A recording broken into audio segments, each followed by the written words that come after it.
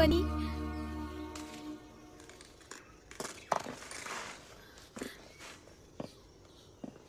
Actually मुझसे गलती हो गई।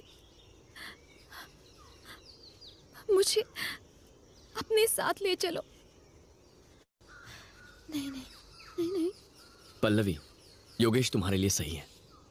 ये मत समझना कि मैं ईगो की वजह से तुमसे ऐसा कह रहा हूँ। योगेश इज़ अ और अगर अब दुल्हन ऐसे रोएगी तो ये मेरी लास्ट शादी होगी।